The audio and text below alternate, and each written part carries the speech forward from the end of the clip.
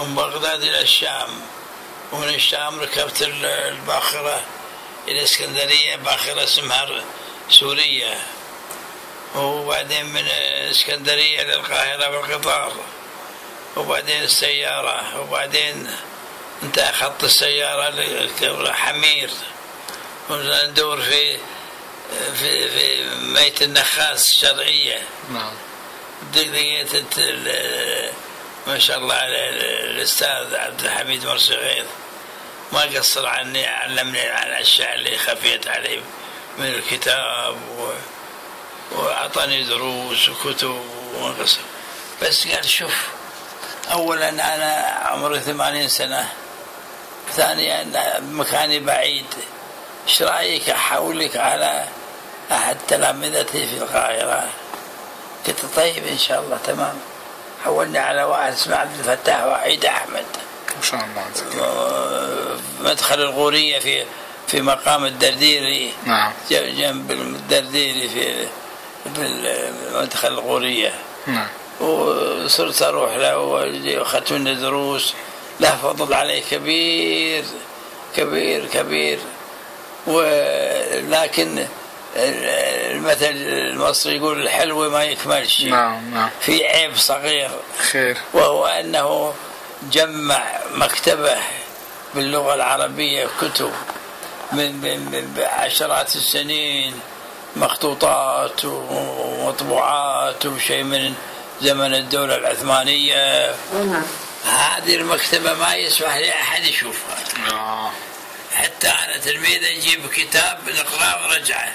وهو ثاني يجيب كتاب قايل لزوجته ادفني كتبي معي لما أموت لا حول ولا قوة إلا بالله. إلى هالدرجه أي بقيت أنا يعني أروح أروح وأرجع عليه وأمر عليه و... و... يعني في ال... بعدين سلمك الله. يعني كتاب من خطاب من زوجته قالت توفينا رحمة الله عليه. قلت لها لي خاطر أنا في الكتب اللي عندكم. قالت متى ما جيت القاهرة الكتب موجودة. الله. نقي اللي تحتاجه والبقية نتصرف فيها بعدين. الله. رحت القاهرة فتحت الكنز العظيم اللي أنا متشوق له أنا متشوق له عن الفلك. لكن غير مسموح لي أشوف المكتبة. آه. شفت المكتبة جبت ثلاث شنط نقيت لي سبعين كتاب. ما شاء الله. قلت لها بكم هذول؟ كانت تقول ببلاش. آه. قلت لها ليش؟ كانت تقول ذول ضرتي. آه. هذا هذا طريق طويل في هواية الكتاب السبب يمكن دخولي علم الفلك في الكويت من عدة أبواب. الباب الأول أن أنا كنت في صغري أخاف الظواهر الطبيعية. أخاف من قصف الرعد أخاف من رميض البرق أخاف من الريح أخاف من الضباب ف يعني دخلت إلى علم الفلك من باب أعرف عدوك ما دام هذا عدوي وأنا أخاف منه لازم أعرفه. عشان أتقيه عشان نعم. أتعامل معاه مم. في باب آخر أن والدي في صغري أرسلني إلى البادية لأتعلم الفروسية والرماية والحياة الخشنة الله. كنت ضيف قبيلة الرشايدة. طبعا سحرتني سماء الصحراء الله. بجلالها وجمالها وبهائها شمس مضيئة وقمر منير ونجوم لألاءة من هذا الباب أيضا دخلت إلى علم الفلك وتعلمت من هؤلاء ال- ال- البدو طرق معرفة الجهات ال- الأربع. يعرفون من النجمة القطبية يسمونه جدي. نعم. إيه، و- و- وإذا صار الدنيا ما في شمس ولا قمر ولا نجوم كيف يعرفون الجهات الأربع؟ يعرفون من اتجاه الكثبان الرملية الله. من آه. يعرفون من التموجات اللي تحدثها الريح الله. على على على رمال الصحراء. مم. كل شجيرة صغيرة أو أو, أو حجر صغير في في ال- في الصحراء يتكون في أسفله مثلث من الرمال الناعمة. سبحان هذا الله. المثلث سببه أن الريح الشمالية تأتي رتيبة. والريح الجنوبية تأتي متعثرة. فتكون هذا المثلث من هذا المثلث نعرف اتجاهات. الله. الله. نعم. وأنا أتعب على يعني على على المعلومة أو أي شيء. كنت في كولورادو ووقع في يدي مجلة وإلا مكتوب عنوان الشركة أوبسرفادوم مم. فقلت هذا أكيد وطلعت لهم اللي يصنعون ال- القوة الفلكية مم. سافرت خمس مط- مطارات يا الله. لما وصل جاكسون آه. عاصمة المسيسيبي ما شاء الله. ولقيت الشركة ووصيتهم على قبة لي قطر ثلاثة متر الله. هذا قبل لا قبل لا يصير آه. المرصد الحالي. نعم.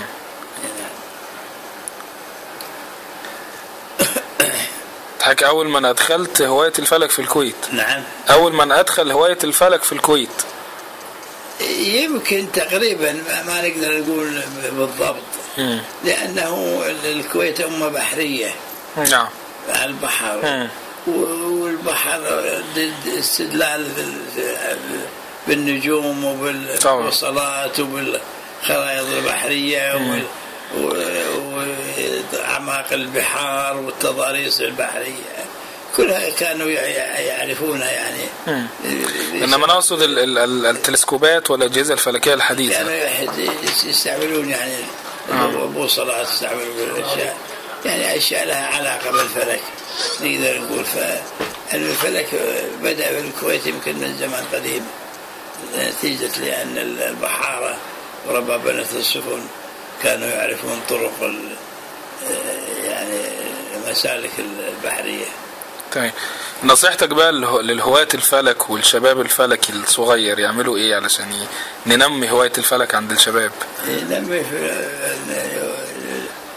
الفلك أو أولا أنه دائما يأخذ بالحكمة التي تقول الناس بأزمانهم أشبه منهم بآبائهم. نعم. فإحنا نشبه آبائنا لكن نشبه زماننا أكثر وأكثر. أكثر نعم. فالعلم الفلك اللي درسناه في الماضي علم الفلك أصلا كتب من جديد. نعم. تغيرت كل المفاهيم ال- القديمة عن عن ما هي عليه. فيجب عليه أن يحرص دائما على أن يدرس الفلك ال- ال- الحديث ويعني ما لازم تغيرات كثيرة حصلت في علم الفلك ومعروفة عند الفلكيين وأنا أنصح أنه يعني القليل مع القليل كثير ويستمر في دراسته في علم الفلك يعني لا يجب, يجب أن الشاب يعامل الناس ب- بكرم ليس لأنه لأنهم كرماء بس لأنه هو كريم يعني. نعم. أيوه كريم كريم. لا تكرهوا أولادكم على أخلاقكم. فإنهم خلقوا لزمان غير زمانكم الله نعم. ما لازم نقول حق الولد اعمل كذا وكذا.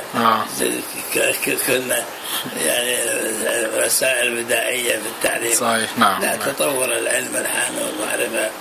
وصارت يعني ما شاء الله كما نرجو ونتمنى. ما شاء الله. تحكي ما شاء الله. 92 سنة.